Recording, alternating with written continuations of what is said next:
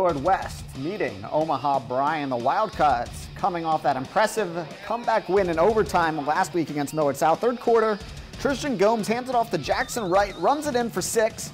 Mill West up 38 to 3. Ensuing Bryan drive, Bears in the red zone, but Cody Needham has other thoughts. Comes around the quarter for the sack. Nice play by number 9-6. Later in the drive, Bryan throws it downfield, but senior linebacker Sean Flanagan with the interception. Millard West goes on to win 45 to 3.